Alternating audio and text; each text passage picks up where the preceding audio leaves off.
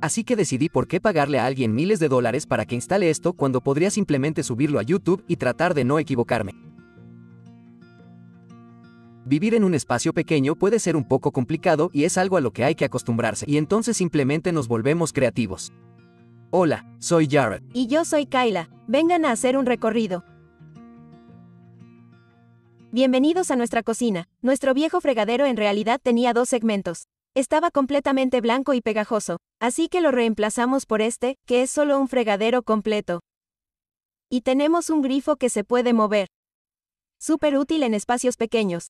Y este es nuestro purificador de agua. Y el purificador de agua está aquí debajo. Aquí tenemos nuestro purificador de agua a cuba, que es un purificador UV. Ahora obtenemos toda nuestra agua dulce normalmente de las gasolineras. Encontramos la mayoría de nuestros grifos de agua en iOverlander, que es una aplicación que puedes usar y que te ayuda a encontrar fuentes de agua dulce o dónde tirarlas. Aquí tenemos nuestra estufa y un horno. El horno tiene mucho espacio, tenemos un pequeño indicador de temperatura aquí porque ese es un problema de vivir con un horno de propano, al menos un equipo R, es que no se puede saber realmente en qué está configurado porque es solo un poco melindroso. Así que podría fijarlo en 300, pero fluctuará. Así que tenemos que vigilar eso un poco. Ahora sigamos adelante y entremos en el almacenamiento de esta cocina. Entonces, en estos cajones guardamos utensilios, espátulas, cosas así, y el tercer cajón es en realidad un cajón de basura, al igual que las baterías, los manteles individuales y las agarraderas. Y estas son en realidad todas las especias que tenemos en nuestro equipo, simplemente las guardamos aquí y luego usamos esta cuerda elástica cuando viajamos para evitar que se caigan, y realmente funciona. Casi nunca llegamos con las especias cayendo al suelo, sucede de vez en cuando, pero en su mayor parte, la cuerda elástica es infalible. Y luego tenemos nuestra nevera. En realidad, funciona con propano y electricidad. Normalmente lo utilizamos con propano, pero con nuestra energía solar podemos utilizarlo con electricidad sin preocuparnos realmente por ello. Estamos pensando en actualizarlo a un refrigerador residencial en algún momento. De esa manera no tenemos que consumir tanta electricidad porque estos refrigeradores que funcionan con propano o electricidad en realidad consumen mucha energía cuando se encienden con electricidad. Junto al espacio de la cocina, tenemos toda esta barra en L. Ahora, antes, solía haber un sofá aquí, está bien, y era un sofá que podías sacar y podías dormir a una persona allí, y nosotros, como solo somos Jared y yo, realmente no necesitábamos eso, así que decidimos sacarlo y poner toda esta sección, así que todo lo que ves aquí lo construimos nosotros, y eso también incluye estos gabinetes. Lo más difícil de un remolque es, ¿tiene espacio en el mostrador? Bueno, tenemos el espacio en el mostrador y ha sido literalmente un punto de inflexión para nosotros, especialmente trabajando en la plataforma. Entonces esta es nuestra sala de estar. Originalmente era un comedor, pero lo eliminamos y optamos por este sofá grande, porque abre un poco más el espacio y queríamos un concepto más abierto en nuestro tráiler. Más adelante, todo esto es almacenamiento de comida, nada más que comida aquí. Y luego tenemos mi planta, que viaja con nosotros. Lo único que realmente quería tener con nosotros en la vida normal era mi planta. Reemplazamos el colchón desde el principio. Originalmente teníamos un colchón con somier. Por aquí tenemos la ropa tendida.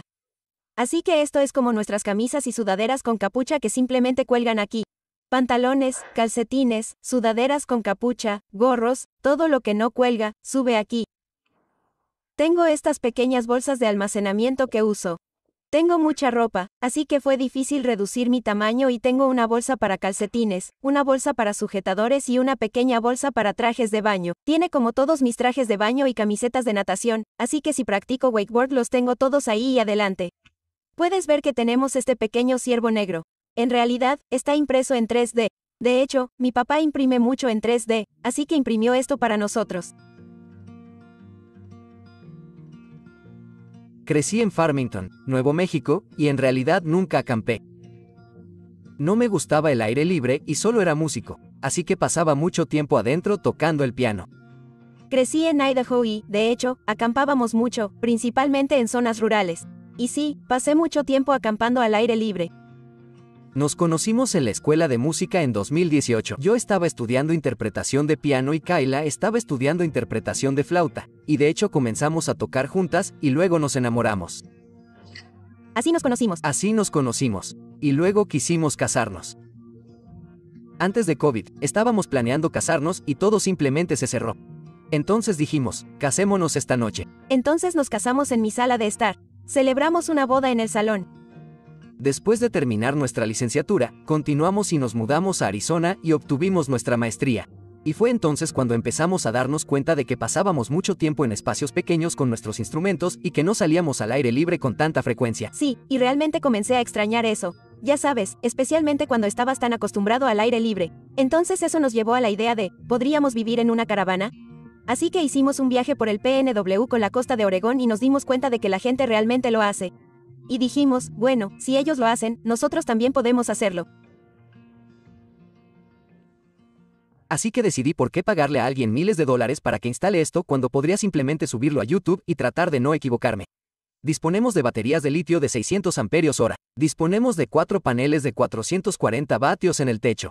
Son casi 1800 vatios de energía solar, lo cual es increíble y podemos recargar estas baterías bastante rápido en un día soleado una derivación y distribuidor Victron, un controlador de carga solar inteligente Victron, así como Victron Multiplus, que nos permite hacer funcionar nuestro aire acondicionado, microondas y literalmente cualquier cosa que haya aquí sin baterías, lo cual es increíble. Este es el centro de control de todo nuestro sistema eléctrico con energía solar. Es divertido sentarse y observar porque se puede ver que estamos recibiendo 800 vatios de energía solar. Solo usamos como 26 vatios de CC, 23 vatios de carga de K y estamos al 100%. Entonces, si enciendo el microondas o el aire acondicionado, saco las baterías de allí y las recargará con la energía solar. Así que gran parte de nuestra investigación se realizó sobre cómo arreglar esto porque, como dijo Kyla, muchas de las cosas estaban rotas y necesitaban ser reemplazadas, por lo que pasamos tres semanas renovándolas. Hicimos los pisos.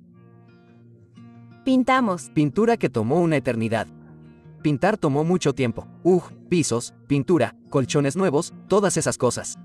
Probablemente invertimos alrededor de 6.000 o 7.000 en la renovación misma y eso no incluye la energía solar. Eso fue después. Lo recibimos unos 6 meses después de vivir en él. Sí, aproximadamente un par de años antes de salir de gira, comenzamos a trabajar para una empresa que enseña música en línea.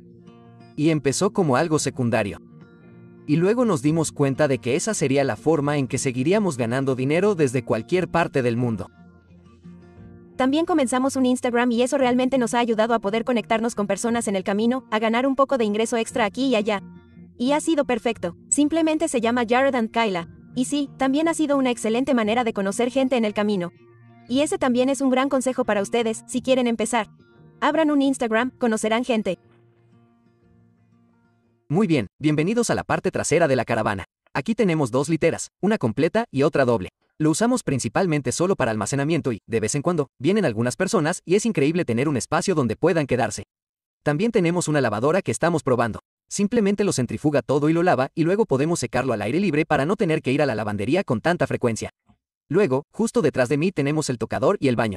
Cuando hicimos la renovación, el fregadero original tenía una forma muy extraña, por lo que lo más fácil fue colocar uno encima del agujero de forma extraña y nos encanta cómo se ve. Esta encimera, así como la de la cocina, son simplemente papel de carnicero falso. Así que cubrimos el mostrador anterior con esto. Es como un papel de contacto. Antes de renovarlo, el espejo tenía una abertura donde podíamos poner todos nuestros cosméticos y demás, así que ahora simplemente ponemos la mayor parte debajo. Aquí tenemos jabones, cepillos de dientes, secadores de pelo y demás, y también tenemos en el baño algo de almacenamiento en la puerta. Como perdimos el espacio en ese espejo quisimos hacer este zapatero y así tiene todo. Es un desastre total, pero tiene todos nuestros cosméticos y solo más espacio de almacenamiento. Lo que es imprescindible para una vida pequeña es simplemente encontrar espacio de almacenamiento. Y luego, aquí en el baño, realmente no hicimos mucho. Queríamos simplemente que fuera el baño, así que no nos importaba mucho cómo se veía. Entonces tenemos la ducha original y luego tenemos una bañera. También tenemos el baño original que vino con la caravana y eso es imprescindible para nosotros ya que queríamos tener un baño para no tener que encontrar uno en el camino. Vivir en un espacio pequeño puede ser un poco complicado y es algo a lo que hay que acostumbrarse, por eso nos volvemos creativos. A veces trabajo en la cama, en el sofá, en las literas o, sobre todo, al aire libre. Pero aparte de eso, no nos resulta difícil vivir en este pequeño espacio. Soy bastante baja, por lo que no es típico o no ocupo mucho espacio. Entonces, cuando estamos pasando por el tráiler, simplemente no ocupo tanto espacio. Y eres tan flaco y alto. Bueno, tienes que decir, oye, voy a pasar, apretando oye, voy hacia aquí. Tienes que anunciar el camino que vas. Pero, sinceramente, nuestro remolque mide 8 metros de largo. Y lo mismo es para nosotros, es grande. Mucho espacio. La gente vive en furgonetas y mucho más pequeñas que esta. Entonces, para nosotros, sentimos que tiene el tamaño perfecto. Muchas gracias por ver nuestro recorrido. Si desean seguir nuestro viaje y aprender más sobre este estilo de vida, estamos en Instagram, TikTok y YouTube. Es simplemente Jaredan Kaila. J-A-R-D-A-N-K-A-Y-L-A. Adiós.